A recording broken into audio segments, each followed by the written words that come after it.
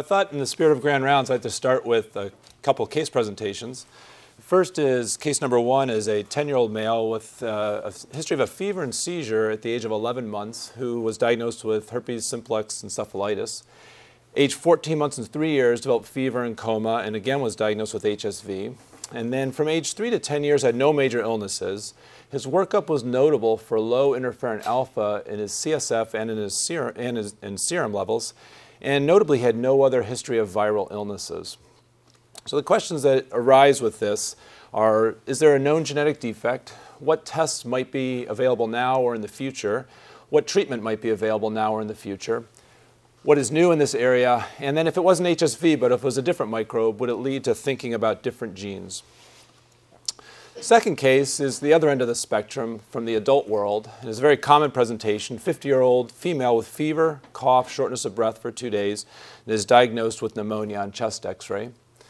And the common treatment decision that faces the clinician is, have seen in the ER, should you treat this patient at home because they appear clinically stable?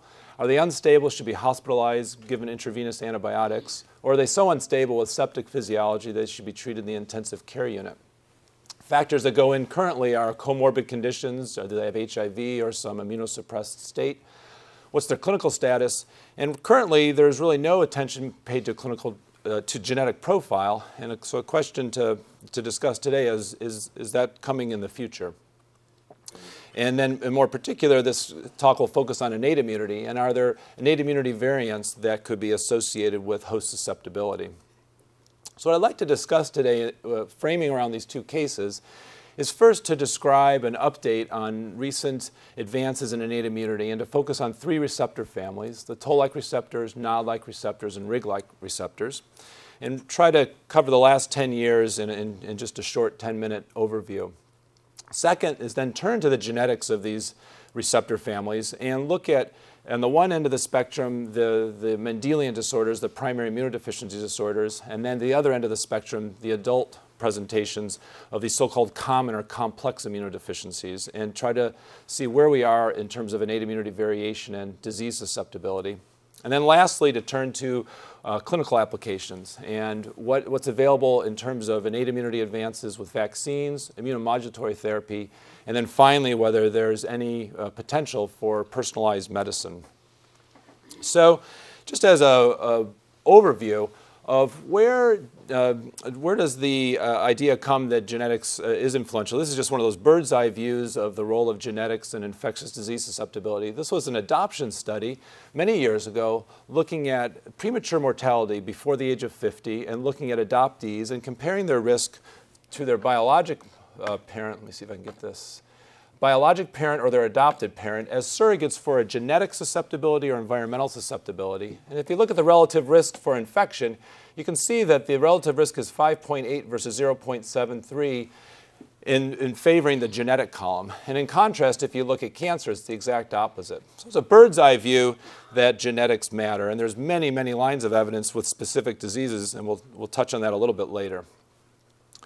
But I think one idea that, that often uh, is a stumbling block to believing there can be clinical relevance and there can be a role for diagnostic tests is, is, a, is a couple of obstacles with our current uh, models of the innate immune system.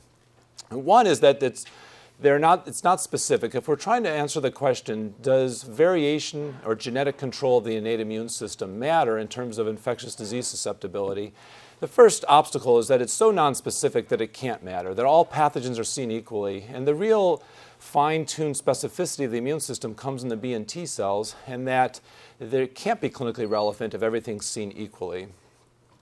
Second obstacle is the uh, idea that there's just an inordinate amount of redundancy, and it kind of comes down to these signaling nightmares that are present in immunology courses, kind of the equivalent of the biochemical pathway nightmares of the Krebs cycle. And if you consider that there's over 100 chemokines and cytokines, how in the world could there be clinical relevance if, uh, if there's so much redundancy in the immune system? And then the third obstacle to uh, believing there could be clinical relevance is that there, well, there have not to date been any clinical applications. And each of these three obstacles we're making a lot of headway on. Um, I, I, I, would still, um, I wouldn't argue too much that there are signaling nightmares, but within those enormous complexity of redundancy, there are specific stories starting to emerge and pathways emerging that can be modulated and understood, and there's now specificity within the redundancy that, that is beginning to emerge. And then the clinical applications, there actually are now starting to be clinical applications. So I'd like to take each of those three areas and, and describe over the next uh, 40 minutes or so how uh, each of those is, is, is only partially an obstacle at this point. So as a way of a brief overview, um, just to, to, to be clear on terminology, the, the focus of this talk is to really understand advances in innate immunity, but it's very helpful to contrast it with adaptive immunity in terms of models and thinking. So innate immunity generally is thought of as, as uh, immunity that focuses uh, at, at, different levels. First, the cells are different. It's either a mixture of, of the complement system with, with circulating proteins, epithelial cells or phagocytes, as opposed to T cells and B cells, which are the hallmark of adaptive immunity. And then dendritic cells are more of an innate cell, but interfacing with the adaptive response. In general, the innate system is, is very quick. It doesn't have memory, it's germline encoded, and there's limited specificity and limited variation. And each of those things are in, in marked contrast, contrast the adaptive system. The hallmark of adaptive immunity is memory, and it's achieved through recombination of T cell receptors and, and immunoglobulin uh, in the B cells to give an extraordinary amount of variation. So, very clearly, these are different. And in, for, for decades, it's really been recognized that B cells and T cells are, are, are really the, the, the workhorses of exquisite specificity in the immune system.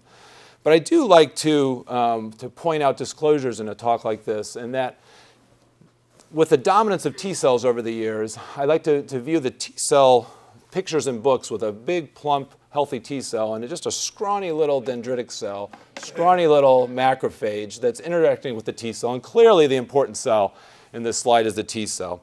And I like to view that as the 20th century view. I like to move us to the 21st century and give proper attention to the macrophages and dendritic cells, which are uh, uh, uh quite important. And, not to argue, uh, joking aside, that T cells and B cells aren't incredibly important, but the really exciting thing in the last 10 years has been that there, there has been a new understanding of, of specificity and molecular understanding of the innate system. So that really um, hones in on three receptor families. The, the bulk of the work's been done on the toll-like receptors, the TLRs. And then more recently, there's been work on the NOD-like receptors and then a little bit of work on the RIG-like receptors. And these three receptors, the reason there's been so much interest and excitement in them is that they've brought specificity to the whole event of pathogen recognition. They tie pathogen recognition to signaling, and then they lead to orchestrating and regulating the early inflammatory cascade.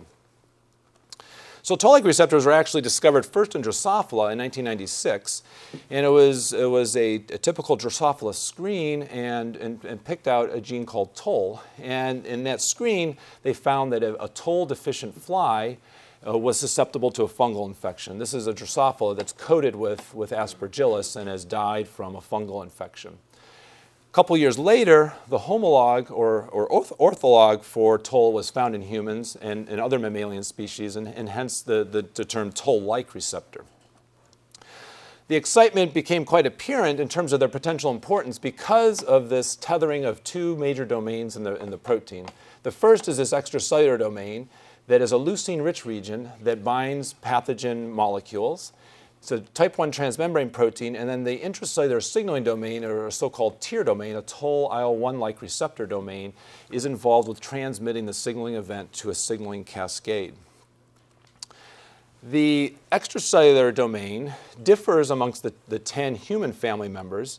There's uh, different species have different members, but the, the, the, the, the more um, advanced mammalian species have roughly 10, mice have 13, uh, interestingly, sea urchins have over 200 toll-like receptors, and they lack an adaptive immune system. So there's an evolutionary space in which toll-like receptors uh, needed even broader specificity for systems that don't have uh, adaptive immune responses. The excitement in humans became apparent because the, the ligands for these uh, 10 toll-like receptors are different components of bacterial uh, uh, and viral particles. So in the case of toll-like receptors 1, 2, and 6, they, represent, they, they recognize small lipopeptides that are present in the cell wall of gram-positive and gram-negative organisms. LPS is seen by toll-like receptor 4, flagellin by toll-5, and then the nucleic acid sensors are tolls 3, 7, 8, 9, that recognize double-stranded RNA or single-stranded RNA. And then finally, um, uh, 9 recognizes uh, CPG DNA, uh, certain motifs of DNA that are overrepresented in bacteria. Just as one example, here is, is a macrophage recognizing flagellin, uh, which is uh, pink here, and this E. coli uh, bug being engaged by the macrophage. So after recognition at the surface, there's then the signaling cascade that involves adapter proteins, these four adapter proteins, and then a whole host of molecules that culminates in NF-kappa B translocation or other transcription factor activation and activation of cytokine and chemokine production. So there's several levels of specificity to the TLR cascade. The first is that there is a compartmentalization of the response. And this, this occurs, uh, many of the tolls are expressed at the surface. Uh, all of them are membrane bound. And for the surface molecules, as a, as a pathogen is ingested and phagocytosed, the TLRs ring the phagocytic vacuole. As shown here, this is TLR2 stained in green, ingesting a particle. And there you see enrichment of TLR2 on the phagocytic cups surrounding the pathogen. And so the TLRs are sampling the phagosome and trying to distinguish self from non-self, which is really the dominant first thing that a TLR does, is it helps with dis distinguishing whether this is something that should be reacted to with an inflammatory cascade. There's several levels of regulation of the TLRs. The first is that TLRs can cooperate with a handful of other receptors. Shown here is Dectin-1, where TLR2, TLR6, and Dectin-1 all cooperate to recognize zymosan, which is a model yeast particle. So there's a little bit of additional breadth of specificity when TLRs pair with other receptors.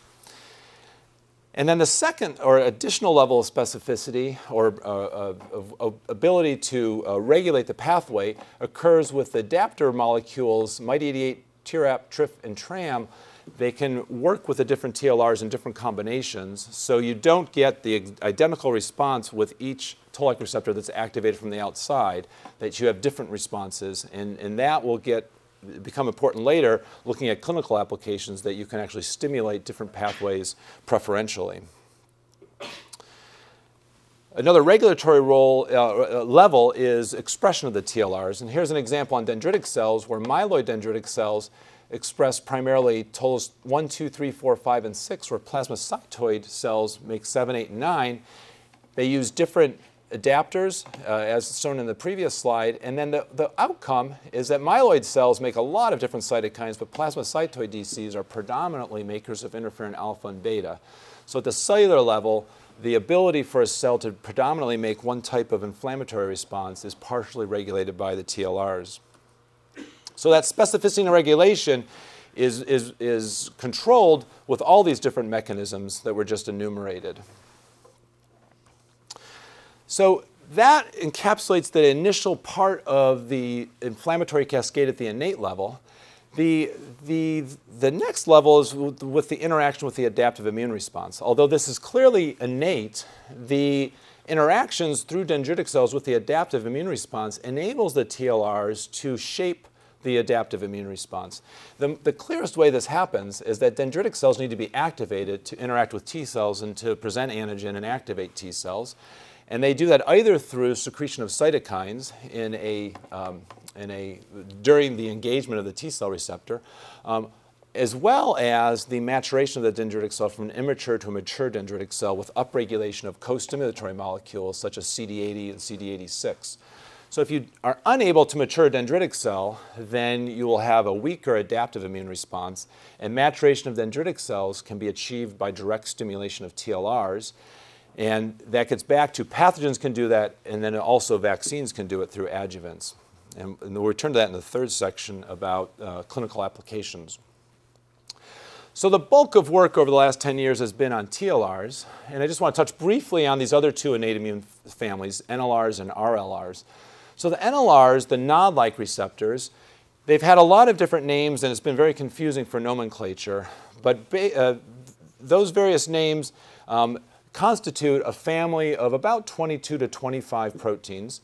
And the key thing is that NLRs sit in the cytoplasm. TLRs are on membranes, either the surface or on organelles within the cell, and NLRs are in the cytoplasm. So you, you are able to have two different sampling mechanisms for a cell that's trying to detect microbes. If you have a microbe that predominantly lives in the cytoplasm, it would potentially um, escape some of the detection mechanisms of the TLRs. And so the NLRs are serving a different topologic compartment of the cell.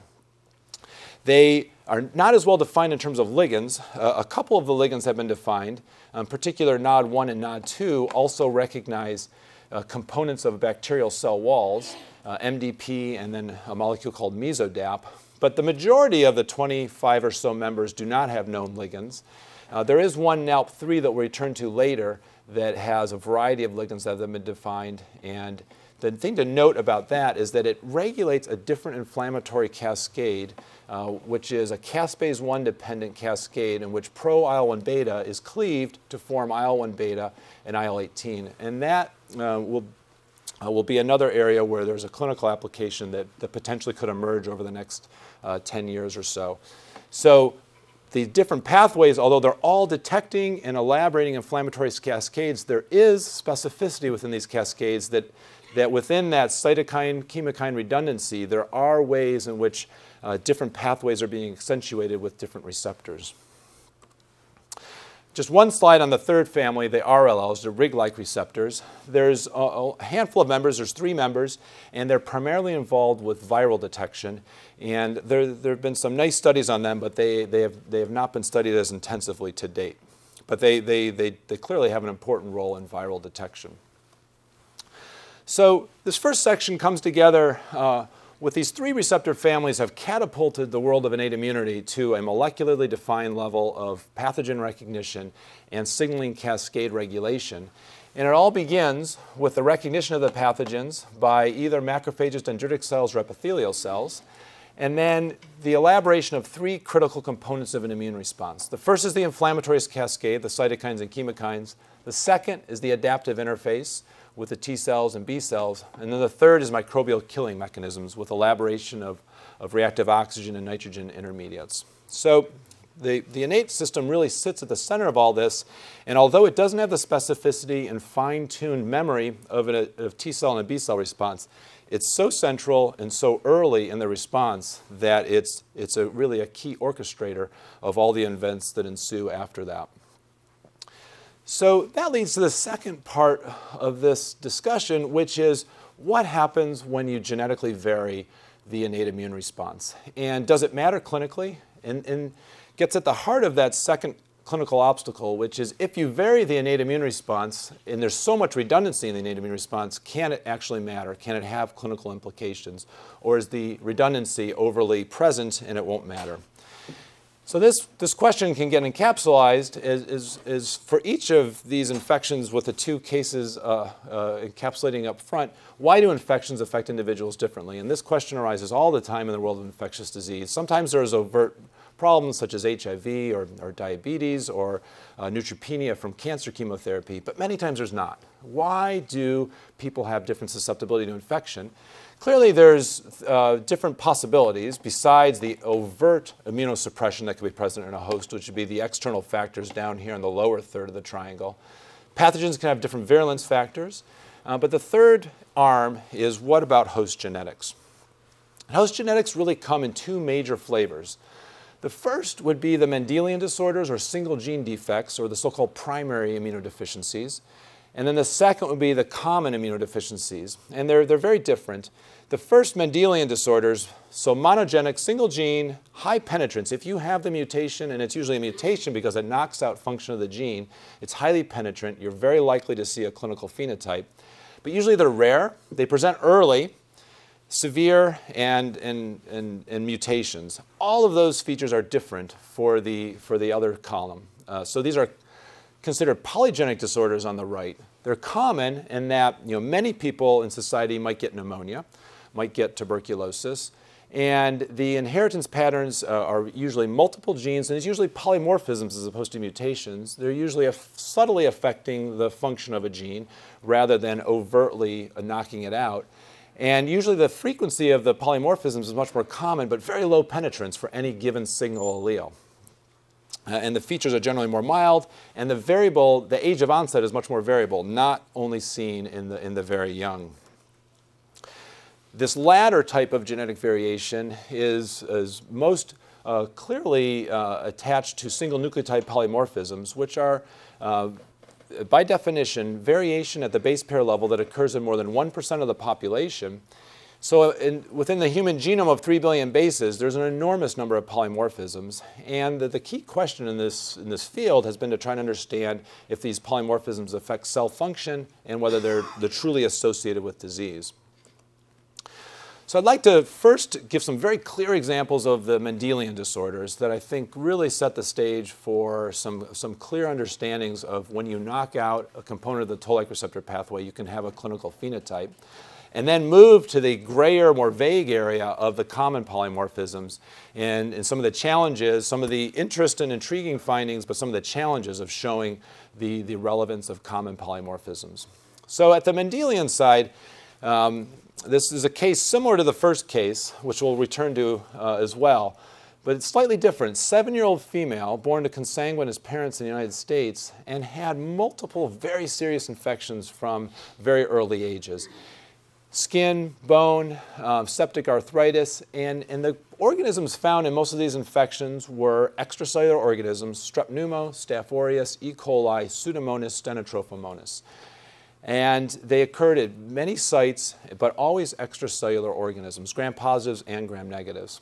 Interestingly, fever responses were minimal, and the condition then improved. So at about age four, this, this patient stopped having these infections.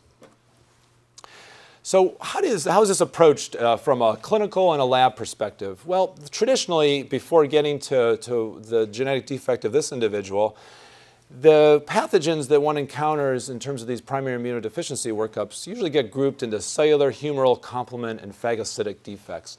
You can see some of the pathogens in each of those. The cellular defects are usually intracellular organisms such as salmonella in the world of bacteria uh, or some of the viral uh, causes.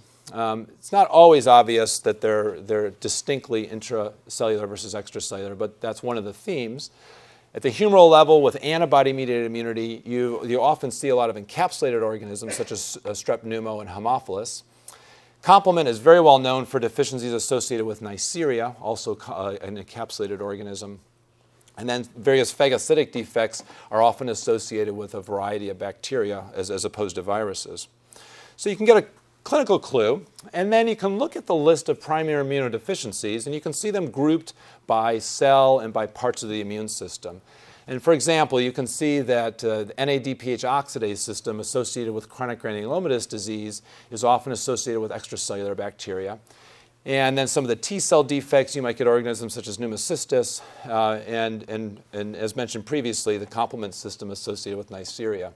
One interesting uh, axis that that was discovered about 10 years ago was interferon gamma receptor IL-12 axis. So IL-12 secreted by monocytes activates T cells to make interferon gamma, um, and then the interferon gamma acts, uh, uh, binds to the interferon gamma receptor back on the monocyte to activate it to kill the bug.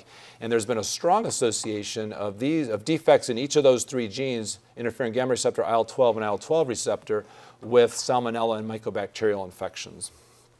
So you can get clues. Uh, actually, the, this slide encapsulates uh, that, that pathway there. Here's the, the monocyte making IL-12, binding to the T cell through the receptor. T cell makes interferon gamma and then activates the macrophage to, to kill the bug, which is, in this case, uh, has been associated with Mycobacterium salmonella. Elegant studies, uh, these are all mutations, are all single gene disorders, and are all considered Mendelian disorders. So a typical lab workup for a primary immunodeficiency would involve uh, doing some broad surveys for T cell defects, getting a complete blood count, doing flow cytometry for lymphocyte subsets, maybe some T cell proliferation assays, measuring immunoglobulin levels, immunoglobulin subclasses. Sometimes they'll then move to a more functional stage of vaccinating the individual and seeing whether they respond to vaccination measuring complement levels, and then doing an oxidative burst or NBT test uh, with phagocyte assays. So that's been kind of the traditional repertoire with, with a few other things, but that's kind of the starting traditional repertoire of a primary immunodeficiency workup. Um, in this case, all of those studies were done, and they were essentially normal. There was a high IgE level noted, but uh, not, uh, this patient did not have the classical features of, of a known syndrome, hyper IgE syndrome. And the, this initial workup led to uh, really no insight into what defect this, this child had. So the investigators then went on and they took toll-like receptor ligands and they stimulated the PBMCs of, of the cells of this child. And it's a little bit small on the type here, but it's shown here on the x-axis are a variety of TLR ligands. And as you can see in the white open bars are controls, and the black bars, which are baseline, are the cytokine uh, levels, in this case TNF. And as you can see, they're essentially absent. Um, present on the right-hand side are whole bugs, so a whole complex mixture of all the ligands present in a whole bug, and similarly, minimal to no cytokines being produced by the cells of this individual. it turns out that this child has a mutation in IRAK4. So IRAK4 is, sits here in the TLR pathway. And by knocking out IRAK4, you basically eliminate signaling from all 10 of the toll-like receptors. There's a slight exception to that, but, but you're essentially knocking out almost the entire pathway. A later study published last year by the same group found that a, a, a similar mutation in MYD88 essentially uh, is associated with the same clinical phenotype. And then other studies have shown two other genes in the pathway, uh, IKK gamma, also called NEMO, and I kappa B, are also associated with severe primary immunodeficiencies. Slightly different organisms in clinical presentation, but all four of those proteins have been found in these rare primary immunodeficiencies. So, very clear demonstration that if you knock out a, a, key member, a key part of the TLR pathway, you can have a profound clinical phenotype. Now, back to the first case with HSV encephalitis. Uh, just remember that the pertinent features here are HSV then got better and had no other viral illnesses. So this ended up being, um, there's, there's now been two different mutations in the TLR pathway that have been mapped. The first is UNC93B, and the second is toll-like receptor 3. Similar case uh, as, as the IRAK4, uh, but, but, but some notable differences. First is that there's a profound defect in signaling, but in this case, it's more selective. It's to toll 3, 7, 8, 9 signaling. Shown here in too small type are the ligands for tolls 3, 7, 8, and 9. And there was defects in, in, in those uh, ligands, but the other TLR ligands, the signaling was preserved. And shown on the right uh, is, is similarly, poly-IC is the ligand for toll-like receptor 3. The patient is in black and the control is in white, and you can see the, the, the, the defect in signaling.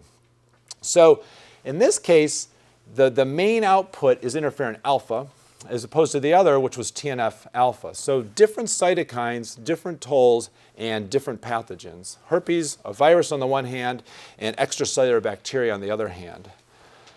Just to place these in the pathway, tolls 3, 7, 8, 9 are sit on the endosome intracellularly, and they interact with UNC93B in a, in a, in a mechanism that's not entirely worked out, but UNC93B very, uh, has been mapped by other studies to be involved in that signaling pathway. And, and, and so there's a selective impairment of the, of the, of the TLR3, uh, 7, 8, and 9 uh, interferon alpha signaling pathway that leads, most interestingly, to a very selective immunodeficiency to HSV.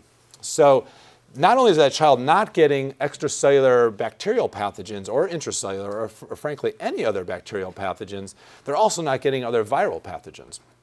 So the idea that a single gene can be associated with a single pathogen, uh, in this case HSV, is, is really a, a, very striking observation that, that surprises me. That, that tolls 3789 uh, given that they knock out interferon alpha signaling, I would have predicted that they would have been susceptible to an enormous number of viruses. Uh, and I think this really uh, creates a, a, shift in paradigm thinking of, of, of, how a receptor can be so specific for a, a disease. And back to those three obstacles at the beginning of the talk, the, although there is a, a, real signaling nightmare when one looks at the immune system, if that kind of specificity can come out of a, a single cytokine, interferon alpha, can be tightly associated with a certain virus and then a, an innate immune receptor, it at least puts a layer of specificity on that enormous complexity. So this slide just summarizes some of those associations, some of those genes, uh, with the prominent microbial phenotypes associated with those diseases. So I think the Mendelian world uh, is a very good, clear example of where it matters. If you mutate these genes, you can get profound phenotypes.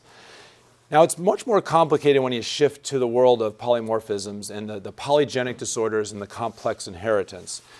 As an example, the lines of evidence of why people believe that there, there is a role for genetics in these, in these more complex disorders that affect all age groups and, and certainly involve lots of adults. Traditional lines of evidence uh, are just exemplified here with tuberculosis. Starts with twin studies. If you compare rates of tuberculosis in monozygotic and dizygotic twins, uh, you see a difference in, in those rates You can do genome-wide scans and look for major loci. In the case of tuberculosis, uh, four of those have been identified in, in several studies.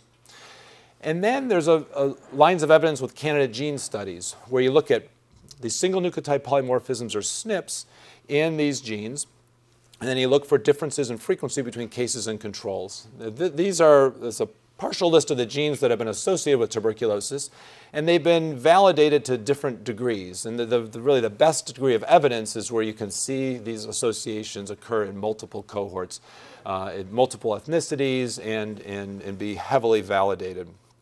So this is where a lot of the grayness comes in is that some, uh, a lot of these associations don't get validated, but some of them do. And then the second piece is do they have a, a strong link to functional consequences? So this really gets at the heart of case number two from the beginning, uh, which is are there any polymorphisms that have been associated with pneumonia? And, and again, getting at the heart of these single nucleotide polymorphisms. So I just want to take three slides on, on work that I've been involved with. Uh, primarily, this talk is, has nothing to do with my work, but it just exemplifies this question and some evidence that there are genetic profiles associated with pneumonia. We've been studying Legionella, which is an important cause of pneumonia, and there's been some traditional risk factors that have been identified over the years, such as smoking, chronic obstructive pulmonary disease, alcohol use, and then some immunosuppressed states such as diabetes. But genetic profiles have not been part of the, uh, uh, the risk profile. Legionella is a gram-negative motile bug with a flagellum, and it lives within inside macrophages. Shown here again is that picture of, of, a, of a flagellar structure interacting with a macrophage being recognized by TOL5. So we investigated an outbreak of Legionnaire's disease in the Netherlands, where there was a kind of a classic outbreak. Legionella got spewed throughout the room from a, from a, a water cooling system, shown here in the red arrow.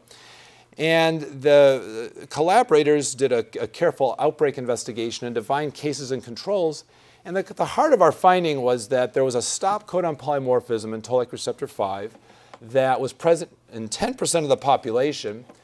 And if we took cells from people with this stop codon polymorphism, stimulated them with the ligand flagellin, we found that there was a profound decrease in the amount of IL-6 produced. So there's a functional consequence to having this polymorphism. 10% of the population walks around with an inability to sense flagellin normally and it was associated with about a twofold increased risk of getting Legionnaire's disease. So this is an example of a polymorphism that's quite common, but it actually has a more of a mutation effect in terms of its function. And the question is, if you knock out just one part of your ability to see Legionella, you're still left with an ability to see it through other toll-like receptors. And so the partial phenotype uh, would, would be partially related to the fact that there is some redundancy in your ability to see Legionella. Um, the field as a whole has described uh, a handful of polymorphisms shown on this slide of the toll-like receptor family that are present, again, at the common level. This is different than the Mendelian mutations just described. This is a separate list. And these polymorphisms all have some type of functional story associated with them, where if you study the variant of the gene either in a transfected cell system or primary cells, you can detect a functional defect. And then, as well, each of these polymorphisms have some level of evidence with susceptibility to infection. But it's not as tight, it's not as clean as the Mendelian world, but it's incredibly common. And the question is, how relevant will this be uh, over the years as we start to, to really understand which of these polymorphisms are the key ones, and could that ever come to a state where we have clinical insight for the, for the physician sitting in the emergency room? That's clearly not known right now. There's a lot more uh, validation and functional work that needs to be done. But that the seeds are laid that there are functionally important polymorphisms that are showing some level of association with disease outcome. Um, and the, the future is not known how important that'll be clinically. There's one other example of the common world that I think is really worth emphasizing uh, because of its importance and clarity, which is in the NLR family. NOD2 has been associated with Crohn's disease, and the level of evidence of this is very strong. These are, these are also common polymorphisms, and the, the particular polymorphisms slash mutations that have been found in NOD2 are thought to account for about 20 or about, about 15% of Crohn's disease or this, this autoimmune uh, autoinflammatory disorder associated with the GI tract. These are studies that have been um, uh, worked out in multiple cohorts. And if you carry the high risk allele, either one copy, you have an odds ratio of 2.4, or two copies, up here on the right, if I can get the pointer, um, an odds ratio of 17.1. So a profoundly high odds ratio if you carry the allele in terms of your risk of getting Crohn's disease. These are the mutations here in the leucine rich region of NOD2, and they're all associated with decreased NF kappa B production. There's a lot of hypotheses as to, to the mechanism of how this occurs because uh, you have a hypo-inflammatory molecular mutation leading to a hyper-inflammatory clinical syndrome. And depending on uh, what step in pathogenesis is primarily affected, from colonization to invasion to downstream effects of altered signaling pathways, uh, there's various hypotheses as to how that unfolds at a pathogenesis level. But the genetic evidence uh, which is, is, is, partially shown here, is very, very strong for the association of NOD2 with Crohn's disease. Um, and it's really, I think, worth emphasizing that some of these associations, like NOD2 and Crohn's, are very, very strong, whereas others um, uh, are, are at, at, a much lower level of evidence. So I just want to backtrack to this and emphasize that there's several other syndromes that have been associated with the NLR pathway. All of these on the right are immunodeficiency rare uh, Mendelian disorders, and we'll return to SINCA in the NALP3 gene uh, at the end of the talk. So, multiple examples of where genetics matter, most clearly at the immunodeficiency Mendelian world level, but uh, more and more examples at the common world where genetics matter in terms of variation in the innate immune system.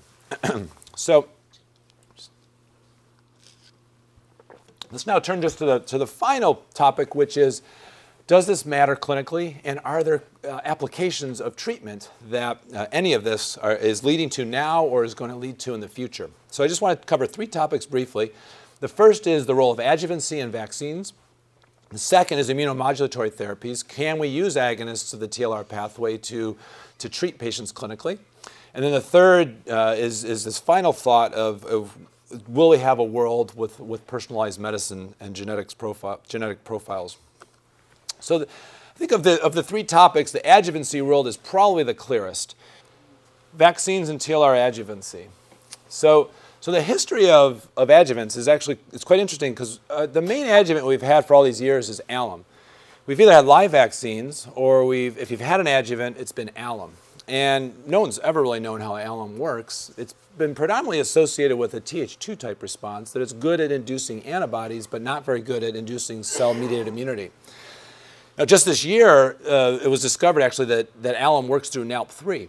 And, and, and the NALP3 connection uh, will, will, will emerge in a little bit. But the, the other exciting findings about 10 years ago, people started using, um, uh, developing TOL4 agonists as adjuvants, and now more recently TOL7 and 9 adjuvants. For many, many years in the, in the animal world, people have used Freund's adjuvant, which has the bacterial cell wall of, of mycobacteria. And that's always, that's been known for decades, uh, since the 1930s and 40s, to be a potent adjuvant. So the ability to stimulate as an adjuvant a robust adaptive immune response, there's a long history that this occurs primarily through activating the innate immune system. And now, in the last 10 years, the actual molecules involved in adjuvancy have been discovered. So, um, in addition to just discovering that there is this, this role with molecular names to the receptors, there's now a lot of work on fine tuning which of those responses are developed. So, the, if, you, if you stimulate different toll like receptors, you can get different responses. For example, toll 7 and 9 are tightly associated with developing a type 1 cytokine response, T cell cytokine response, predominantly with interferon gamma. And then if you stimulate toll-like receptor 2, there's a tendency to, to shift more to a Th2 type response. And then alum remains a more potent Th2 responding uh, induction through NALP3. So the idea that's starting to emerge is that we'll be able to fine tune the type of adjuvancy effect that, that's achieved. And some of the big diseases that have never had an effective vaccine, TB, malaria, HIV, it may be that these new generation adjuvants that are more molecularly specific would have potential to, uh, to, to actually elicit a, a qualitatively different response um, that can then can be more specifically engineered. So this, this, this slide down here was just giving a little bit of the data behind toll-like receptor 4, its use as an adjuvant in the hepatitis B vaccine. It's not FDA approved in the US, it is being used in Europe, and the, the slide just has a little bit of data showing an increase in antibody titer um, that can be achieved with toll-like receptor 4 adjuvancy. And then the second example is with toll-like receptor 9, um, and primarily working through um, the dendritic cells, to, uh, to similar message that toll receptor 9 can give you a longer lasting and a higher titer of a protective immune response. So the world of adjuvancy is already being shaped and changed by the, the, the different innate immune receptors, and I, in the future of that will get uh, more and more developed as more and more ligands and pathways are worked out. The second area is the ability to immunomodulate TLR pathways. And this idea of, of, well, are there any clinical applications or will there be? So there actually is one current use of a TLR drug and that is currently being used by, by many clinicians, and that's it's, it's a drug called imiquimod, which is the, is the ligand for toll-like receptor 7. And it, it, was actually marketed in the late 90s before it was known to be a toll-like receptor ligand, and it's used for topical treatment of warts. So human papillomavirus causes uh, cutaneous warts, and it's a cream formulation. And it was known when it was first marketed that if you, uh, if you, uh, if you uh, put it on a wart, you'll get induction of a hyperinflammatory response. You'll see the skin get red, and then the wart will, uh, will, will fall off because the innate immune system has been activated. And so that is, um, it's, it's, it's, it's the actual ligand for toll-like receptor 7. The, the, the slide that follows that is a little bit more of a, a humbling slide that says that despite all that elegance of, of actually having a specific toll-like receptor 7 agonist to, to use in the clinic, if you actually compare the data with the standard therapies for wart treatment, which is basically freezing it or putting salicylic acid on it, so a, a, just a caustic acid substance on a wart, that the efficacy rates of treatment are actually no different. And the, the treatment costs of, of imiquimod, is, as you might imagine, with its marketing by a pharmaceutical company as an on-patent drug, are, are quite expensive. And so, um, although it's great for elegance, it really hasn't helped us achieve anything we couldn't do with a little bit of liquid nitrogen or, or a, a harsh acid. But I think it really demonstrates that that we're in an age where hopefully there will be treatments developed that, that actually change what we can treat and do it with less side effects and more elegance and, and hopefully with, with things that, um, that, that are, have been previously untreatable. There is a slide here talking about imiquimod and other uses. Um, and includes a recent study in New England Journal that looked at its treatment of, um, of neoplasia of the, of the cervix associated with, with HPV. Same idea, topical application leading to treatment of an HPV-induced cancer or neoplasia. So applications are happening, but, but it's really just starting to happen. The last couple slides um, return to the idea of NALP3 and the inflammasome, and they illustrate uh, what I think the future could hold, which is the ability to specifically modulate different innate immune pathways. The idea here starts with an observation in one of these Mendelian disorders, which is called NOMID or SINCA. Now, this disease has been mapped to mutations in NALP3. And there's actually a variety of them. The syndrome is notable for uh, first uh, having a, a, very profound clinical phenotype. You get, you get a rash, you can get conjunctivitis, but most importantly, you can get very severe inflammation of the brain, and these, these children die. It's been untreatable. Uh, the notable thing about the NALP3 pathway uh, in this slide, which is, which is identical to one of the earlier slides, is that NALP3 is involved with a caspase 1 dependent pathway where you get cleavage of pro-IL-1 beta to form IL-1 beta, and then IL-1 beta is secreted, and IL-1 beta is a pro-inflammatory cytokine. So now this NALP3 associated disorder, SINCA or NOMA, is associated with high IL-1 beta levels and can be thought of, uh, if, if you could think of diseases as cytokine specific at some level, this would be an IL-1 beta disease. And so there's a compound available, uh, anakinra, which is a blocker of IL-1 beta, and it blocks the interaction of IL-1 beta with its receptor. If you treat these patients, and there's only 17 of them in this, in this paper, you completely can cure the disease. So despite a huge repertoire of ability of an innate immune system to, to either regulate and develop pro-inflammatory molecules, cytokines or chemokines, uh, this disease is associated with one, and blocking that one completely removes the pathology associated with that disease. So it's again another example of where there is some specificity and ability to treat within this sea of redundancy of the innate immune system. So that is a rare disease. It's, it's, it's great for the children it's involved with, and it doesn't have a lot of impact at the population level. So the second last slide poses the possibility of how this could have impacted a greater level. And it, it, it's developed from uh, recent observations, of, meaning the last couple of years, where uric acid crystals have been shown to activate the immune system through NALP3. So if you take NALP3 knockout macrophages and you stimulate them with uric acid crystals, if you, if you don't, if you have a normal macrophage, you can, you can produce IL-1 beta. But if you knock out NALP3, you can abolish IL-1 beta production. So uric acid is the hallmark of gout, uh, an inflammatory condition associated with arthritis, and can be quite debilitating in its severe forms.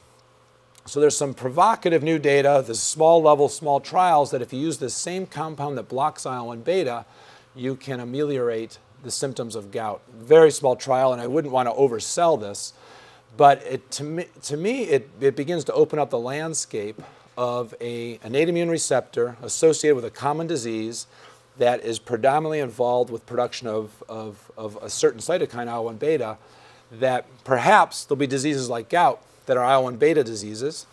There's diseases now that are thought of as TNF-alpha diseases, Crohn's, rheumatoid arthritis, psoriasis, where it's currently being used are TNF-alpha inhibitors which are also downstream of, of TLR and, and, innate immune receptors. And so we have some TNF alpha diseases, maybe there'll be IL-1 beta diseases, and it brings up the potential that we could selectively treat these downstream mediators, and then maybe with time, they'll be at the receptor level also able, at the toll-like receptor or the nod-like receptor level, be able to selectively block or stimulate those receptors and really see a play, uh, a back and forth of the rheumatologic world and the infectious disease world of trying to balance the benefits and the harms that these pathways can be involved with if there's too much or too little of them.